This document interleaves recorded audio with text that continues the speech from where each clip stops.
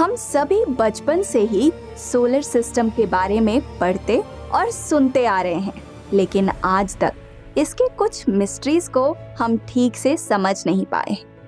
Solar system एक ऐसा भूल भुलैया है जिसमें आप जितना अंदर जाएँगे, उतना ही नए रहस्य सामने आते जाएँगे। तो चलिए, आज एक और नए रहस्य के बारे में जानने की कोशिश करते हैं। नमस्कार। मैं हूँ प्रिया और एडियोरा इनसाइट्स में आप सभी का स्वागत करती हूँ।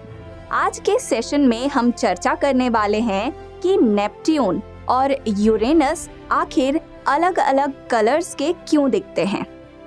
हमारे सोलर सिस्टम के सभी प्लैनेट्स बहुत अलग अलग हैं, लेकिन कई सारे प्लैनेट्स में सिमिलैरिटीज भी देखने को मिलती हैं। जैसे कि अर्थ एंड मार्स में कई सारे सिमिलैरिटीज हैं तो वही अर्थ एंड वीनस में कई सारे डिफरेंसेस के साथ साथ कुछ सिमिलैरिटीज भी हैं। ऐसी ही कुछ सिमिलैरिटीज और कुछ डिफरेंसेस यूरेनस और नेपट्यून में भी हैं। दोनों ही प्लैनेट्स का साइज़ मास और एटमॉस्फेरिक कंपोजिशन बहुत हद तक सिमिलर है, लेकिन इनका जो कलर है, वो अलग है। विजिबल वेवलेंथ पर Uranus pale shade of cyan है, जबकि नेपट्यून डीप एज्योर कलर का है। क्या आपने कभी सोचा है कि यूरेनस और नेपट्यून अलग अलग कलर्स के आखिर क्यों हैं? इसे जानने की कोशिश करते हैं। साइंटिस्ट के लिए अब तक ये समझना आसान नहीं था कि दोनों ही प्लैनेट्स का जो कलर है, वो आखिर डिफरेंट क्यों है। क्योंकि पहले सिमिलर डेटा नहीं था जिसको एनालाइज किया जा सके, दोनों प्लैनेट्स को कंपेयर किया जा सके। लेकिन अब ये पॉसिबल है।